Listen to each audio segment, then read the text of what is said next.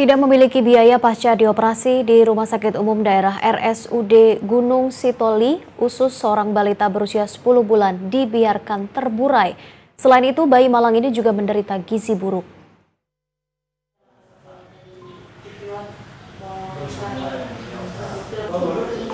Beginilah pemirsa kondisi Aslinda Lase, bayi perempuan berumur 10 bulan, warga desa Tete Hosi Ombolata, kota Gunung Sitoli, Sumatera Utara.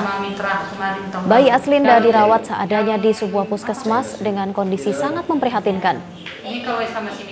Sebelumnya pada bulan Oktober 2015 dilakukan operasi pada bayi Aslinda karena menderita penyakit atresia ani namun karena ketidakadanya biaya untuk melakukan operasi lanjutan, bayi Aslinda dipulangkan dan dirawat sendiri di rumah dengan kondisi usus keluar. Impitan ekonomi juga mengakibatkan bayi Aslinda menderita gizi buruk dan menderita penyakit komplikasi.